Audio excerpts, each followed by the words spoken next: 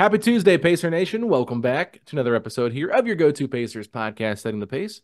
I'm your host, Alex Golden. I'm joined today by Michael Facci. Facci, we're here to talk about some game two adjustments and what the Pacers can do tonight. So I'm kind of curious, where do you want to get things started? I'm just gonna call it right now. A little bit of a hot take. It's getting a little, little sizzling out here. Uh, Tyrese Haliburton's putting up the first shot in this game just to say this one's gonna be different. And I've heard the people. Okay, I mean, uh, I don't That's know who's going to get the first shot. How many times do you see Tyrese take the first shot? Now I'm not really thinking of, not a lot, and I, am curious if that just sets the tone to just be like, "Hey, this goes through me. I gotta be the guy. I'm putting up that first shot." We typically see like a Miles Turner put up like the first shot, or that's or what I think it's gonna be. And that's how it. That's that would be if I was on a game show. That would be my normal answer to say. I'm calling Tyrese Haliburton puts up that first shot and sets the tone right then and there. If Haliburton hits that shot, this fan base is going to go wild. Yeah, I mean, I, I, think that definitely like Tyrese is looking for a shot a little bit more in, mm-hmm. in the flow of the game, not overdoing it, right? Yeah. That's kind of one of the big adjustments to me. I think that needs to happen for Indiana. But I also just think that this team just needs to play a little bit more under control and play play a faster pace if you go back and watch this game, when they had moments of playing at a faster pace, they had some better looks mm-hmm. and, and, they scored in rhythm. This is what this team does. I don't really think they're a great half court offense. I know that their stats might prove them, you know, prove them to be better in the half court. And I know Pascal Siakam was, you know, a bucket, but it's it's hard for me to think that Pascal Siakam is going to replicate what he did in game one and game two. I think they're going to make adjustments, and I think Pascal's just. I mean, 36 points is just not the norm for Pascal. We don't usually see him score that many. So other guys are going to have to step up. And I think that now that they got the game one jitters out of the way, I'm expecting a more confident, a little bit more of a hungry team because this Pacers team is pretty resilient. And I think when their back's against the wall, that's when they play their best. So with or without Giannis for Milwaukee, I think Indiana is going to say, we got to get one here. We let one go in game one because we were so, so bad, as Rick Carlisle called it, embarrassing. We've got to get this one back. And I think that they're going to do everything they can to put up a much, much better fight than they did in game one. I just think you can only go up from here. And yeah, can Siakam give you 36 again? That's a lot to ask. Could he give you 25? Yeah, I really do think that he can. But I also feel like you could look at the stat sheet and you see Turner at 17, but it really wasn't like that. It was on five of 17 shooting. I think that Miles Turner can give you a much better performance. So I think that, you know, from from Haliburton and Turner, you know, I think uh, it's not to say they owe us one, but I think they're going to put their best foot forward.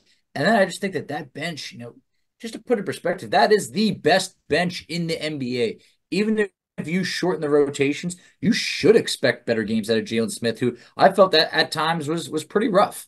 And mm-hmm. I think that when you talk about those jitters, that was that was evident early on. I mean, I mentioned it last episode. They had about seven turnovers in about the first 15 minutes of gameplay. That's you know not to say a game's worth of turnovers almost, but that's a lot of turnovers that early on. I feel that the Pacers can just keep it keep it calm, play their style, maybe keep the turnovers down, maybe go into halftime at three or four. That's going to make a big difference because anytime they were trying to really become a threat, they were getting in their own way, and I think that they were their own worst enemy at times.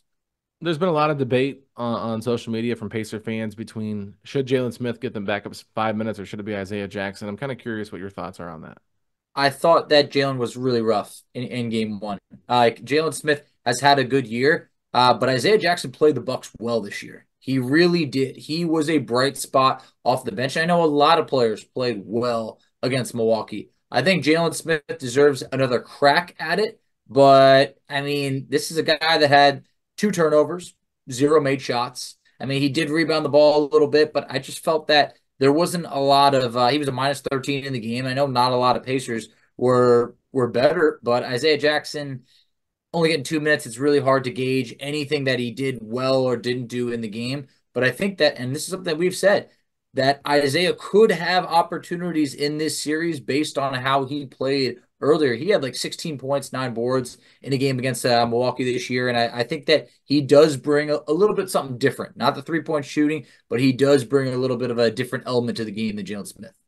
I would say that if Jalen Smith was the only player on the bench that played bad in the first game, then maybe you maybe give Isaiah more of a chance here. But I think because everybody was just not good in that game, yeah, game one, it seems a little bit overreactionary to me to just pull Jalen from the rotation. And, and honestly, I, I thought Jalen did a good job on the offensive glass. I think he had five offensive rebounds out of the seven rebounds that he had. So he was able to provide some stuff. Like it wasn't like he was just a negative out there completely. I know that his plus minus was a negative, but I still feel like he contributed in different ways. It just, you know, there wasn't a lot of great shots, and some of the shots that the Pacers took were just bad. Like I went back and I was rewatching some of this game. I put myself that misery, Facci. Ooh, that's and that's a that's a lot of misery right there. So, so, so to kind of end the first quarter, like Tyrese Haliburton hits a jumper to make it 2019. And I'm thinking to myself, with like under two minutes left to play, like what happened in that final, you know, two minutes of play in in, in the first quarter? Well, Damian Lillard dribbles the ball out of bounds after Tyrese does it off of his leg. Pacers get the ball back. Tyrese runs a pick and roll, and he throws the ball about four feet behind Jalen Smith. Milwaukee gets out in transition. Malik Beasley hits a three. Very next play down, Ben Sheppard misses a three. He comes down and fouls Pat Connaughton on a three. He gets an and one. So now you go from being down one to being down eight. And then Obi Toppin is able to, you know, secure an offensive rebound or get a pass from TJ McConnell, who I think I think that's what happened. There was like two or three misses on one possession. Jalen got like two or three offensive rebounds. Obi Toppin was able to put, you know, a layup in at the end, end of that quarter. And then Dame came down and hit that step back three to give the Bucks a nine point lead heading into the end of the first or heading into the second quarter. So I, I was just watching that little moment there and I'm thinking, okay, in a minute and about 40 seconds, the Pacers really let this game kind of get away from them. And then they start out the second quarter. I think it was an all bench lineup, if I'm not mistaken. Maybe Pascal mm-hmm. had come in pretty early, I think, maybe for somebody, but the Bucks went on another 10 to 2 run. And now they had a 20 to 4 run and really separated it. I know that a lot of people have said that Dame just went crazy in the second quarter, which he did and he was fantastic. But most of that run was not all just Dame shots. So I, I just felt like Indiana just got a little sloppy, got a little careless, and those turnovers led to touchdowns for Milwaukee. And that's where I think for Indiana, they just have to be much more disciplined with their decision making, whether that's shot selection, whether that's you know running the offense and making the right passes. They have to be a little bit more disciplined and make the right moves and, right plays at the right time and not get so caught up in the like you said the early game jitters things like that because that was part of it. But the other part was they were just discombobulated. There were some lineups out there that didn't play a whole lot in the regular season it felt like like mcdermott playing with the starters is a little bit of a wrinkle there. So i just kind of feel like maybe slow down i know you want to play your pace fast still but in terms of like your your your shot selection and your decision making slow down and make the right play and, and don't just make this quick reactionary play because you're trying to hit a home run instead of hitting singles to knock down that lead. And when you try hitting home runs and you miss, that's when the, Milwaukee can just extend that lead even more, and that's why they got it by 30. Yeah, and it's true. And even later in the game, when the Pacers had that opportunity, they, they cut it down to 12. I just felt like instead of just trying to get that easy two, a lot of times they kept trying to hit threes and they kept mm-hmm. missing threes. And it was like, guys, you can go from 12 down to 10, down to eight, and give yourself that, that opportunity where if it was single digits – going in the fourth, you feel like anything could happen. And I felt like the Pacers were were forcing it a bit, and you know, just like you mentioned, trying to hit those home runs. I mean, they were eight of thirty-eight from three. That's miserable. They could only improve from here. I mean, if the Pacers are to shoot 35% in in uh, you know game two. That could be a solid improvement. You, know, you talked about it last episode. Milwaukee outscored the Pacers from three point land by 18 points. That is a big difference. And uh, you know, the Bucks shot 14 of 37, it's about 38%. That could easily come down. So I do think the Pacers have a lot of avenues where they should improve just because they played that bad in game one. But just uh, you know, you mentioned a little bit of that timeline. I had that timeline. I meant to share it last episode, but yeah, Haliburton hits that shot. It's a it's a 20 footer, makes it 20 to 19. Uh, the Bucks are up one. That's it with a minute and 55 uh, to go in the first quarter.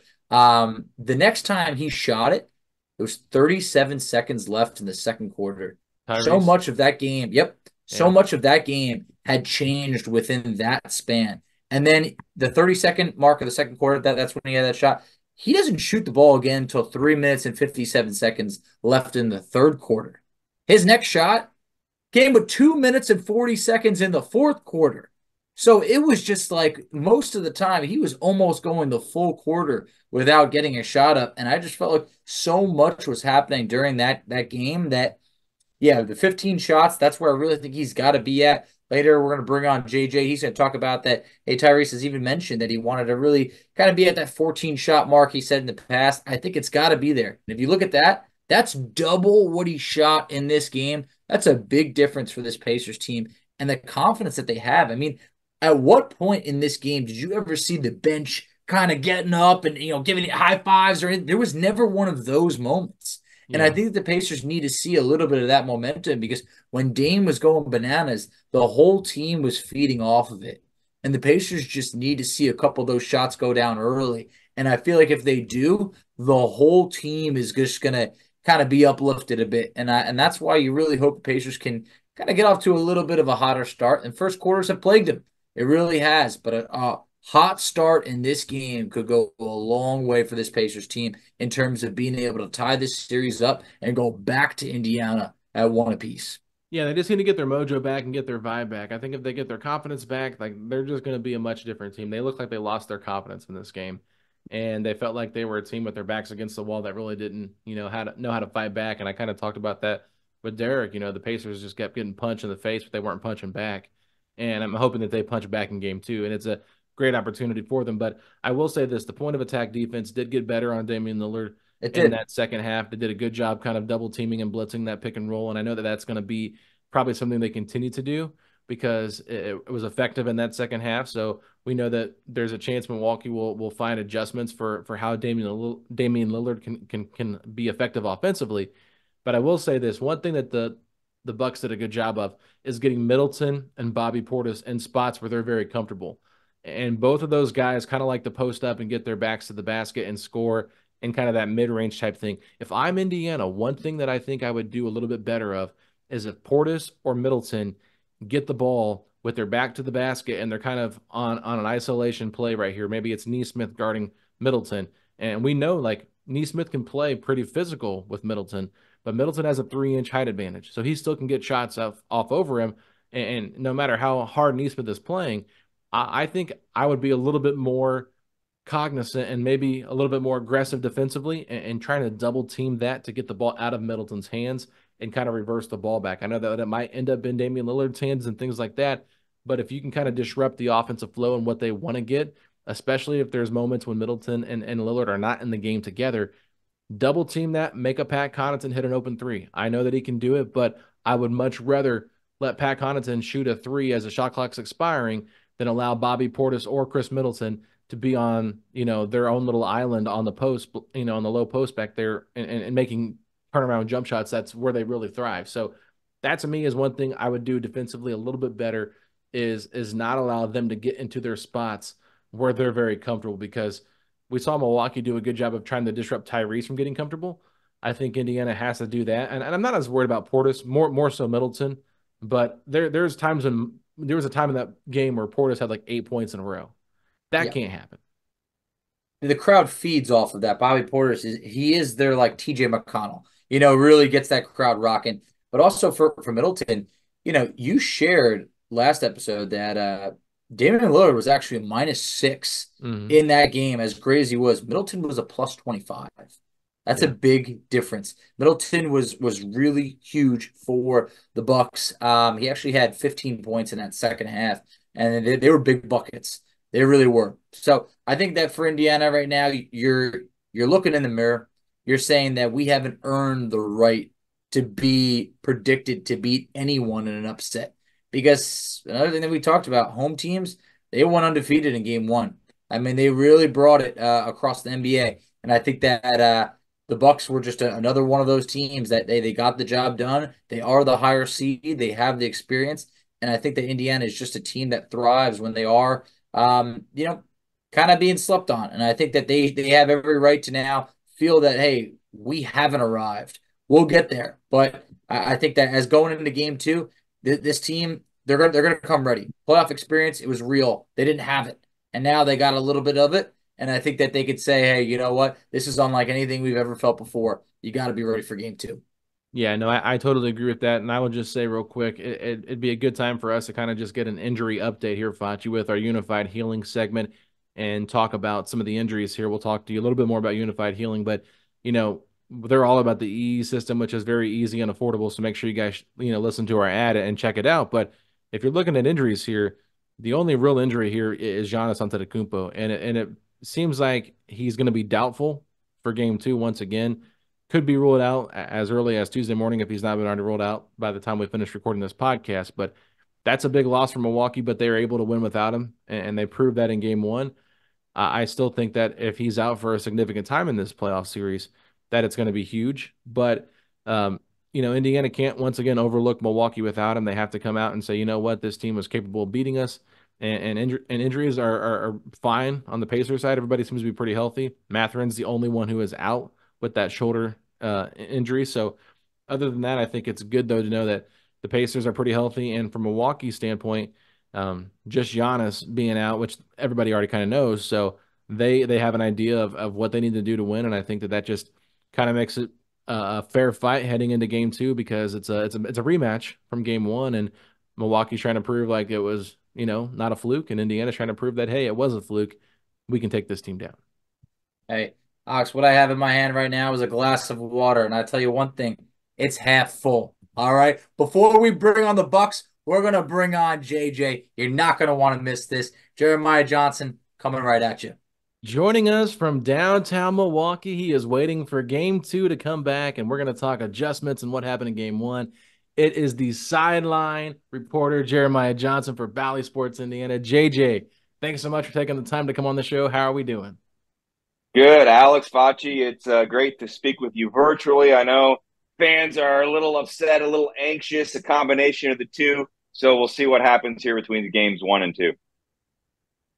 Hey man, I'm I'm ready for game two. I know it can't come soon enough, but luckily there's not going to be that type of delay that we saw from the regular season into game one. But JJ, I would say, you know, my first question for you was what was the vibe of the team post game after that game one? Um, you know, it was weird because we had a longer post game show on the court than we normally do because we were carrying the press conferences and because we did not have to fly out after the game. A little bit of inside baseball here. When we're on the road for post game shows, it's normally a, a short show. It's about 15 minutes. And once we hear from head coach Rick Carlisle, we don't have a camera in the locker room. So we're pretty much wrapping up. And we were on the air for about 35 minutes. And so we were waiting a little bit to hear from players in the press conference room. And we heard that it was going to be Miles Turner Pascal Siakam. Pascal normally takes a long time to get ready. So we didn't think we would get him. We were trying to get Miles Turner. But I'll be honest, by the time the show ended and then I made my way back there, most of the players from the locker room had already left. And then uh, I listened to Miles Turner and Pascal Siakam. And I think because the bad half was the first half and then the second half, there were some positives. And it wasn't one of these heartbreaking, excruciating finishes. Um, it was, and I, I think Pascal was probably one of the people that spoke up in the locker room. And he said that you know, or maybe Miles did that those two and Tyrese got together and talked. And I think there was a, a, message that was sent after the game that it's a best of seven series for a reason. You know, you didn't play well, but it, there's no need to walk out of that building with your heads hanging down or crying. Just think about the things that you can do and be anxious to get out there. And that was the vibe that I got more than anything was, man, let's play another game. I know it's going to be 48 hours, but they were all anxious for just another opportunity because they, to a man, know that wasn't Pacers basketball. Yeah, 94 points. It, just didn't feel like they were playing their pace either. It kind of felt like Milwaukee was kind of dictating things. But, you know, when you were in the arena for the game, did you feel the nerves from this team before the game started? Not before the game. I mean, you're you're going to have the similar, you know, intensity coming running out on the court you're in enemy territory, so you know you have to overcome that. So definitely not before the game, but just in some of the shots that I saw early on, and maybe a little bit of the apprehension from certain players, you could tell. And, and I was curious whether that'd be something I would bring up. But if you were watching on Bally Sports, I did interview Lloyd Pierce coming out to start the third quarter, and I asked him what changed from you know, late first quarter into the second quarter. And he, of course, gave credit to Damian Lillard. But then I asked if he thought there was some nerves or maybe some jitters from some of the players. And and he didn't hide from that at all. He said absolutely. And that was something they needed to overcome. The best way I think those guys can get into the game is by playing hard nosed defense. And then the rest takes care of itself. I, I could tell there were some guys pressing with their shots, or maybe you know, you had a three point shot that's a good look and maybe it doesn't even draw iron or it's a bad miss and then it gets in your head a little bit and it causes you to be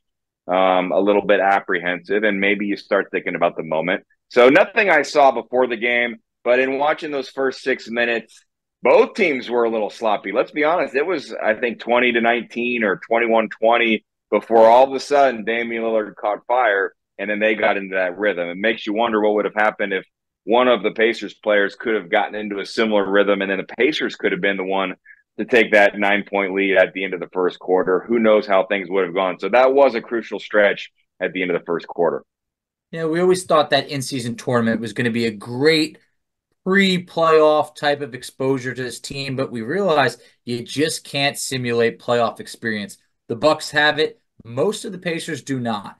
Do you think that this game one was kind of that harsh reality of, hey, welcome to the playoffs? This will benefit you in the long run because you could feel the difference between regular season and the playoffs, and it happened quick to this team. I think there's something else to it though as well because those in-season tournament games, um, say what you want about them, they had a high level of intensity. I mean, you've heard players talk about that atmosphere of the Boston Celtics game being unmatched in recent memory. And you'd have to go back to those playoff games where Miles Turner thought it was on that similar level. I can't speak to Las Vegas because I wasn't there. And it may have been a little bit of a unique environment, especially maybe that first game when maybe the building wasn't quite as as filled up. But make no mistake, all those players were playing for a lot. I mean, there was personal incentive and they were going for it. The difference that I think – that happened here, at least in game one, and it's the approach that the opponents have towards the Pacers. You could make a case Boston comes to Gainbridge Fieldhouse for that in season tournament game. Their bags are packed for Las Vegas. Yeah, the Pacers are a nice story, but we're the Boston Celtics. We're the team expected to be in the finals. And maybe if you let up just a little bit, you show, we've seen around the NBA, you can get beat. So I don't think they gave the Pacers maybe that full amount of respect. The Pacers took advantage. You go to Las Vegas, the Bucks probably the same way.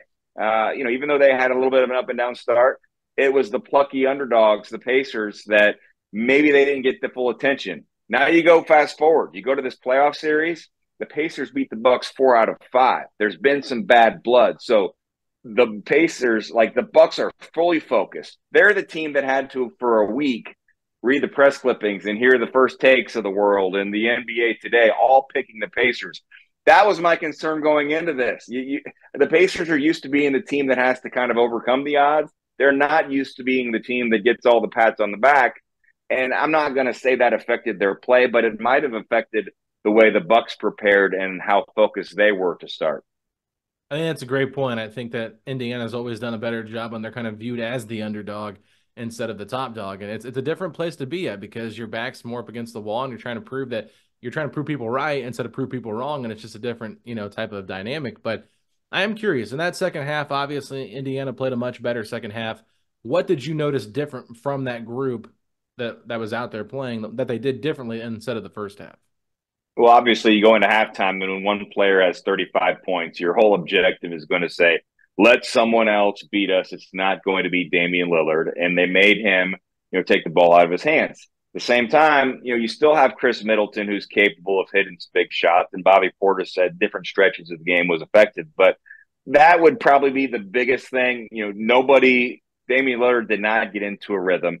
He's the, I'm not going to say the sole reason, but the game was a one point game. He goes on the run at the end of the first quarter, and then it carries over into the second quarter. He's the reason the Bucks built that lead. So if you take him out of the equation, you're going to instantly have more success. I thought early in the third quarter, the Pacers had some sets and ran some offense to knock down some shots. So they were doing a lot better. But you're also going to have human nature kick in, in in the opposite way, just like the Bucks were ready to go to start they probably let it up a little bit as well. So you can't just take too much from the second half and say, "Oh, the Pacers figured everything out." You can't dig that big of a hole, and I don't think the Bucks ever seriously felt threatened in the second half. So uh, the the one thing I'll just say is it felt in those of you watching, it felt more like Pacers basketball in the second half. The first half was it looked like imposters wearing the Pacers jerseys at times. It just wasn't what we're used to seeing. And you hope in a best of seven series that can be the the learning point, the, the the the game you forget about, and the rest of the series, you can at least play your style, play your basketball. I mean, 94 points total, even despite a good second half, that's just not what you expect. So um, I, I don't think the guys were nervous in the second half. Maybe they were a little more angry, you know, fired up, whatever. and that caused them to play a little bit better. But um, I'm I'm finding myself with mixed opinions on how much to take from the second half. Other than the adjustments they made to Damian Lillard, they showed that. So then the Bucks will be prepared for that. How do you you know step step in front of what Milwaukee might do, um, anticipating what the Pacers did in the second half happening in Game Two the Pacers just they kept hitting snooze, I think, in that first half. But one guy that did wake up on the right side of the bed was Pascal Siakam, the man who has a ring on this Pacers team. He really came into play. And I think when the Pacers looked to make that trade for Siakam, you hoped who could be the number two. Well, he looked every bit of being a number one yesterday for Indiana. I mean, what could you take away from that man who has been there and absolutely showed up when it mattered most? Yeah, I mean, I just found myself watching, thinking this is why they made the trade for Pascal Siakam. And while nothing is set in stone for the future, you have to at least be optimistic and, and thinking and hoping he's going to be a foundation piece. And you don't really know if a player is a regular season player or a guy that is going to be a really good postseason player when you get them. I mean, you have to see it in action. And so I saw enough in that one game, and you had a pretty good idea the moment would not be too big for him. But he, he more than anyone else, you were just confident he was actually in his zone, in his rhythm, um, even more than in the regular season. So he might be a guy that craves that moment. And I thought it was good for even the fan base. You know, we, it's such a, a reactionary society right now with social media that you know after two weeks people were saying oh why'd you get this guy and then uh, even even like two or three weeks ago i had people saying that the chemistry was off and I, they didn't understand it. I, the good part to me is he's a guy you can count on. He's going to bring it. The moment won't be too big for him. And when you've got a young team, you need to have veterans, not just guys that say the right things. I mean, they've got some of those guys, but guys that also let their play do the talking as well that you can count on. So, um, dependability, reliability to have a guy like that uh, no matter what happens in this series, it gives me uh, a good feeling moving forward with that four, four position. One of the reasons why a lot of people were picking Indiana to maybe win this series is because of the uncertainty of Giannis Antetokounmpo. Kind of curious your thoughts on how the Bucks are so much more different without Giannis, and what kind of wrinkle that threw into the Pacers' game plan. I know that they said all week long they were they were preparing as if Giannis was going to play but we we have to know probably there was some preparing for if Giannis didn't play too. But just kind of curious, you know, what makes the Bucks different without Giannis and maybe a little bit more difficult to prepare for? I felt like early in the season, Damian Lillard wasn't necessarily looking over his shoulder, but he was kind of walking on ice that you didn't know if it would break or not. He was kind of treading lightly. He didn't have that, you know, I'm I'm the guy. I'm going to do whatever it takes to win like you saw so much of the time that he was in Portland, and that makes sense. I mean, you're coming into Giannis's team; it's not Damian Lillard's team.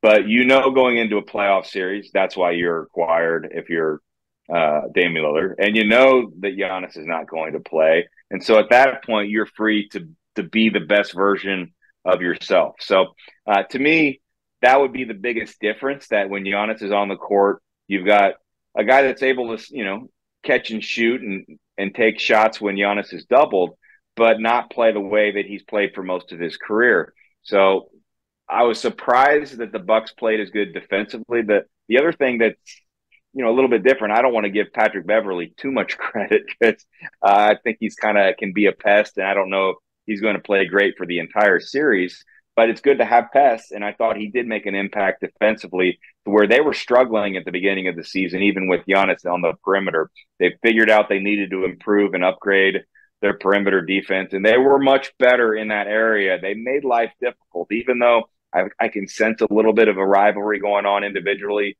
Not that they're you know similar level players, but uh, we've seen enough of Tyrese Haliburton and Patrick Beverley going at it a little bit that there's something there and he did make it hard on on Tyrese Haliburton. So um, the big thing is you focus so much of your attention on Giannis. I still say the Pacers are better playing against teams when they're at full strength. It sounds silly to say, but you know, look at the this season. How many times has one guy been out? You let up just a little, or maybe you don't let up, but it's not who you prepared for to beat you, and it doesn't go well. But yet the Pacers are a team that gets up for the big moments against the best of the best. Their record against teams above 500 is one of the best in the NBA, and it's not just due to playing those teams when they were injured. It's playing them at full strength, um, and they've also been resilient all season. So I do have that as sort of a level of optimism for Game Two. Uh, it, there doesn't seem to be a real uh, bit of optimism that you're going to see Giannis at least anytime soon. I mean, at least for Game Two, they'll probably list him as questionable or doubtful. But uh, you're you're going to see, I think, the similar Bucks players you saw in Game One and Game Two. Yeah, I mean, uh, optimism, I, I think, is the right word because this is a Pacers team that in the regular season led the NBA in points per game, led the NBA in field goal percentage, did a lot of things really well. We talked about it 94 points. They shot sub 40%, but this Pacers team is too electric offensively to keep that type of play up. So, do you think it's more of just, hey, they're going to come out guns blazing in specific? A guy like Tyrese Haliburton, I mean, look, if anybody even logged on to social media, it was a dark place yesterday. It really was. But this team is prepared to live and die by who their leader is. Do you think that Tyrese is going to be a little bit more aggressive to start the game? Because that's kind of been a little bit of the MO all year is that, hey, look, he's going to look for his teammates first and he'll get the shot going second. This is the playoffs. Might need to be uh, roles reversed a little bit. I remember back to the start of last season, and I don't think it was necessarily what a message that would come from from coaches. It may may have been something with Chad Buchanan, but it might have been something on his own where he said he wanted to kind of look down and force himself to be more aggressive. And I remember 14 being a number that he had said was, uh, you know, I need to have at least 14 field goal attempts in a game because that means I'm into the game. And you know, it can be a little bit arbitrary to just randomly pick a number like that.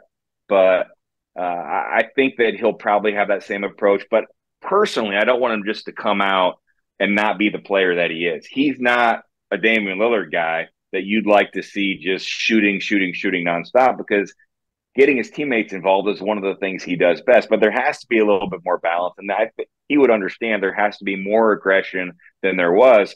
So much of the season, you've seen him come out, get his teammates involved, and then he takes over in the third quarter.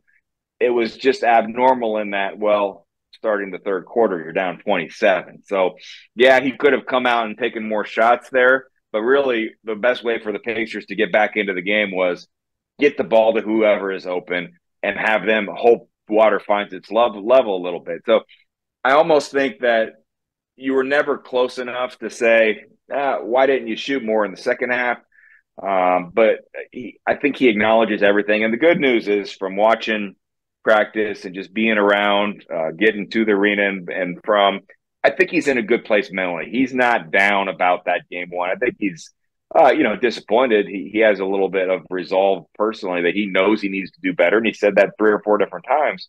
So you'll see a different Tyrese Haliburton, but I'm not the guy that wants him to sit there and, and just chuck it from the cheap seats all game because he's only his best when it's a mixture. So mm-hmm. uh, nine points, eight assists, or whatever it ended up being, not what you want to see.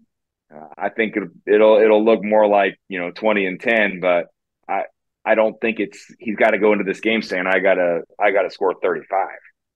Yeah, I think when one of the reporters asked Rick Carlisle about Tyrese's scoring after the game, he he basically said it's not about Tyrese's scoring, it's about the team scoring, which it, it, it makes sense. But I think from everybody's perspective, like Tyrese is supposed to be the face of the franchise, the number one, number two guy with Pascal Siakam. So I think just seeing him kind of finish fifth in shot attempts it's it's a little bit concerning. And I think that's one adjustment people are looking to see. Hopefully, moving forward with you know game two, we'll, we'll kind of see how much more aggressive he is. But I'm curious, are there any other adjustments that you think this team needs to make for game two to try to help prepare themselves for for evening this series at one one? You know, it's tough. You don't necessarily know what Milwaukee's going to do, but there's the film that's out there. You saw what they were doing with Tyrese Haliburton. So I guess I would just say if he gets the ball out of his hands, figure out some action that he gets it back a little quicker. There were a few times where he didn't have it, but then he was open. Uh, I'd, I'd have everybody just keeping an eye on knowing where Tyrese is at all times. If they're going to double him at half court and they're going to blitz the pick, well, he's got to get it out of his hands, but then quickly maybe get it back to him. I mean, just you want to see a little bit more of that. It's one thing I was watching and waiting to see if the pace could be what you expected in the playoffs. It seems crazy to me that the game has to slow down because it's the playoffs, even though that's what everyone says. But we know they've got to get out and run for them to be their best. And we also know Milwaukee, I mean, Doc Rivers said as much before the game, those guys are going to not be crashing the glass for offensive rebounds, except for maybe two of them. Three of them are going to run back, or maybe one of them is just going to immediately find Tyrese Haliburton when a shot goes up. So know that they're doing that and figure out how you can combat that a little bit. Maybe have a little bit more of Andrew Nembhard where, you know, you get a rebound, you throw it to him, and then Tyrese gets it in transition. Uh, I think that that's the two playmaker um, starting five. It's been more for Andrew Nembhard's defense than his playmaking, and then we've seen more of you know Tyrese off ball when TJ McConnell comes into the game. So um, that could be something. Um, but it just you'll know when you see it is probably what I would say. To sit here after just one game, you're going to need to make adjustments, and that's a big, you know, a little bit of a cliche in the playoffs. So they're going to try and tweak some different things, but they can't just sit there after one game and throw everything they did in 82 games away and say Damian Lillard scored 35 and couldn't miss and was shooting from half court and say you've got to rip up everything you did and start over again. I mean, that's that's kind of that's kind of silly to me. I know that's what fans want. I mean, they, they want to see a, a, specific change. The, the tweaks will be more minor adjustments, maybe not something I can just sit here and tell you on a podcast. Yeah, I don't think the Pacers need to switch up their starting lineup or anything drastic like that. Like this is the group.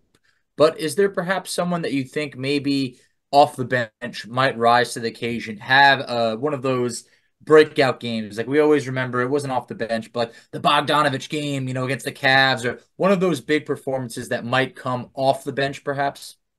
I think Obi Toppin is someone that is capable of tilting the series a little bit in the Pacers' favor in Game Two. I I don't think he was happy with how he played. He's key to the second unit pace. It's not just you know TJ McConnell pushing the pace. It's often TJ running, and then all of a sudden Obi sprinting down court as well you got to be a little careful if it's your big that's running down the court because the guy he's guarding could be the one that's crashing the glass. So most importantly, you got to secure those rebounds. But I probably will be watching him, and it wouldn't surprise me. I know people have been critical online of you know, well, there should not be any time in the game that you don't have either Tyrese Haliburton or Pascal Siakam on the court. I can I can make a case for that. Uh, I just I don't want to see them forget about the bench at all because I, I still think that they have a better bench than Milwaukee. And over the course of a series where everyone was rested going into game one, there's not going to be as much rest between games one and two. You have a little break before game three. But I thought in a series against an older team that the Pacers could wear them out eventually. That's another reason I had optimism for this series. I have optimism. I mean, let's say Philadelphia ends up beating the Knicks. I've seen the Pacers play two games in three nights against the Sixers, and they ran the Sixers out of the gym in the second half of the second game because they were worn out. So to me, it still is important to give some of those guys minutes, to have them run, to give your starters enough of a break because uh, I'm sure they'll they'll be willing to play more minutes, but you can't just expect them to be robots and to play the pace you want at 42 minutes. So um, you got to still rely on your entire team, but maybe in some smaller doses in game two. Yeah, I mean, I think a lot of the fan base was upset with the 11 man rotation that happened to take yeah, place. well, okay, all right, but it's not really an 11 man rotation. It's you're counting Jalen Smith and Isaiah Jackson as two people when in, in reality they're just one, yeah. right? I mean, two minutes so, Jax was it. So Okay, so but, but people are saying that's eleven though. So then right. then disregard his two minutes and say it was a ten man rotation. Right. And Doug was barely in the game either. So it's really a nine man rotation. And I don't think Ijax's two minutes and Doug's whatever is the reason the Pacers lost the game. Are you cool with the nine man rotation? To me, I'm cool I, with nine. I, I think nine's fine. You want eight? I think my problem not not my problem with nine. I don't have a problem with nine. I, I think the big thing is is we saw Milwaukee do a very good job of staggering their lineups a little bit more, where maybe Portis would go to the bench early for Malik Beasley, and then kind of let Dame run it with more of a more of a different first unit, but then bring Middleton back with Portis that second unit. I just feel like if you're going to have Middleton and Portis out there against the Pacers bench, it's not really a bench lineup versus a bench lineup for Milwaukee because you're playing two starters. So I think there just needs to be a little bit more balance, maybe, of the rotation. Um, if, if you want to go nine, that's fine, but I feel like you know, one of Pascal or Tyrese. I think that's a good point. But even even at least one of Nesmith or Nembhard out there to have more defensive minded players out there that you feel more comfortable with. I know those guys got to get breaks, but you got to maybe try to figure out a way to stagger their minutes where maybe Shep is playing with Nesmith a little bit more, or Shep's playing with Nembhard a little bit more, and not just Shep and McConnell out there as your two best defenders on the wing. Yeah, I, I could see that, and I wouldn't be surprised. What I would say is if you actually dig into how the game went, you don't want you'd like to get your starters to get in some kind of rhythm and it took so long for them to do that in the first quarter that if you're going to take Pascal out at the six minute mark, he's not going to feel like he got into anything. And nobody really had anything going. So if you don't have foul trouble and you had yet to really see anyone feel like they were into the game, to, take them out then's tough. And then you go to the third quarter, you're probably playing those guys as long as you can because you wanted to try to get back into the game. So I, I think circumstances affected – what happened. You can go into a game with a plan and you have to be flexible. And when you lose, everyone's going to nitpick everything that you do. But if you actually take a closer look, I would challenge when would you have taken certain guys out with how that game played out? Now, it happened so quickly at the end of the, the first quarter and then the start of the second quarter. You use your timeouts. Maybe there's a substitution that can be made there, and uh, who knows? Maybe that that's something they would have done differently. But given what Damian Lillard was doing, I think people are actually glossing over that and not even realizing like that's uh that's something you don't see 35 point halves and you could take the ball out of his hand. That's the the thing they did at halftime. Maybe you could have done that a little bit earlier. Uh, that's the biggest thing. You have to observe when someone has it really going, and you got to say someone else is going to be the guy that's going to beat me. Yeah, I think what Dame did in that moment just it swung the game. I mean, he got so hot that he was having true heat check moments where he's shooting from deep, and a, a decent chunk of the time he was still hitting those. I do think in this game there was one moment though when things got a little chippy between him and Andrew Nembhard that I feel that Nembhard kind of woke up, took it a little bit more personal. Do you think the Pacers kind of needed a little bit of a wake up call to say, hey, we got to punch back because we're getting hit right now. We got to get our hands up or something? For me, it felt like after that, Dame really was not um, in that same type of like momentum as he was before.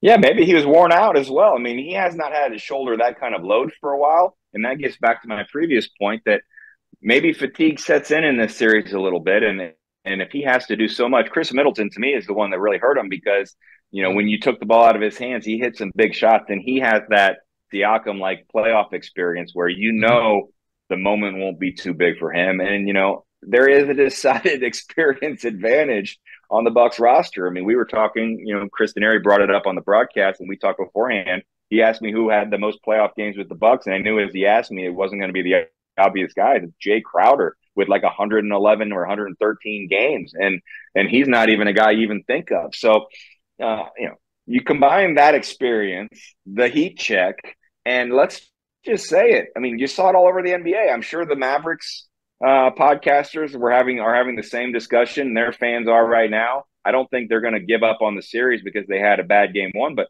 the home court advantage was real. I mean, the way that first quarter it was loud. They kept this music going until someone made a basket, and at some point I'm like, all right, well, or until they made a basket, they wanted everyone to stand on their seats, but they were playing like the rock music or the loud music for the first three minutes of the game. And then when he started hitting those shots, the building went bonkers. It's the same way I expected to be games three and four, but it's not easy to go in in that environment. And I think people, um, they kind of forget about that a little bit, especially watching on TV. So I understand the disappointment. It was not Pacers basketball in the first half. And Rick Carlisle said it himself. So I'm not going to disagree with what he said. I mean, he said it was embarrassing. But yeah. I'm also not going to give up on the series either, knowing there's still three more games at Gainbridge Fieldhouse, and there's a tired, an older team that you're playing against the Bucks, and we don't even know about Giannis if he's going to play in the series. So uh, let's just see what happens in games two. Game yeah, two. I will say Miles Turner. I mean, in his post game press conference, you know, it's a very cliche thing to say, but you know, a playoff series doesn't start till a road team gets that first victory, is what they say. So, game two, to wrap things up here, JJ, what does Indiana do differently to win that game? Um, they got to get out and run. You got to obviously hit some shots. When you start 0 for 13, it just takes you out of your rhythm. And human nature sets in where, you know, your offense affects your defense. So Um, I'm not going to sit here and say they've got to have the lead at the end of the first quarter or the lead at halftime. But if they're able to have a higher scoring game and just get up and go and feel like they're in a rhythm offensively, you know, the defense creates the offense. But um, you just want to see more Pacers basketball. Everyone listening or you know watching, they're diehards. You know it when you see it, and we know we didn't see it in game one. So I, I can't sit here and specifically say this is the area that will lead to a win. But you know the Pacers, I think, shot uh, twenty percent from three in in the season series against the Bucks, and they still won four or five. That's not ideal. Get it back up to you know mid thirties, closer to forty, and you're going to have uh, a better chance for success. So if the three start going down, that'll be a, a big indicator. And you know, make sure that no Buck Milwaukee player has superhuman night. Yeah, my last question for you is, you know, this this team has the fan base in the palm of their hands. It's 10 straight playoff games without a win. How starving do you think that this fan base is right now to take game two and go into Indiana in game three with a, a, rowdy crowd, knowing that you could take the series lead in that moment. How vital is this game two for this fan base, this team, and, and everything in between? Well, I think it's vital. I would say sometimes a win or a loss doesn't matter the margin because it only counts as one. But in this situation, no matter what happens, it needs to be close to give you a feeling like you're in this series going back home. And I know I mean, to go back one and one, it's it's a whole new series, right? I mean, that's ultimately what you needed, what you wanted, and it's so easy to just be down after one loss. And I think the fan base bought into some of the hype as well, right? When you turn on the TV and everybody's picking you, then you believe it also. So big um, time. JMV often says must win. I'm not going to sit here and say that yet because I still, if you fell down to zero you still have three out of four at home, and you've shown you can beat the Bucks, but you've got to at least play better, and you've got to be right there. Because you lost game one, you don't have the okay. Well, if you lose, it's okay. I mean, I'm not going to sit here and say that, but um, you more than anything, show a competitive, entertaining, do what you do well, see your stars play well, and you'll be in position to get that boost over the weekend. But it's not going to be easy. Just because you want it to happen doesn't mean it will. Yeah, I will say this is uh, you know, six games now the Pacers and Bucks have played each other. The Pacers won the first two, Milwaukee won the third one. Indiana wins four and five. Milwaukee won number six. So it looks like Indiana is on pace now to win two in a row based on things, you know, hmm. following that same I like trend. you're thinking. So, you know, well, we'll see what happens, JJ. I mean, just speaking it into existence. But uh, I want to thank you so much for your time and uh, joining us here as you're on this nice little weekend getaway, I guess you could say, or three day getaway here in Milwaukee. Any anything you want to plug before we wrap up here? Nope. Uh, just I know that uh, you know you have a choice during the series, and we appreciate fans watching all all season long. Give us a chance on Bally Sports during the series if you want to check out some of the other coverage. I understand, but uh, we'll do our best to amp up the broadcast. And again, we're on the air for 30 minutes after each game with the post game pressers, which I know you can't always find everywhere else. And home games, I think Pat Boylan will still be inside the locker room. So um, we'll we'll do our best to provide the coverage that you've you've you've hoped for for the series, and hopefully it's a long series, at least five games right now. I mean, if Pacers win the next four, you're all right with that. But I think it, I think it's going to be a long series. Hey JJ, we appreciate you. Truly one of the best in the biz, and uh, a friend of Alex and I. We always love having you on. We can't wait for the next one. All right, sounds good. Thanks, guys. Thanks, JJ.